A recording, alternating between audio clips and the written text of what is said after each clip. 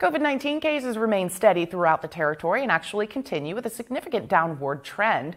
According to the latest numbers from the VI Department of Health, there are 29 reported active COVID cases territory wide, with 17 on St. Croix, 11 on St. Thomas, and still just one active reported case on St. John.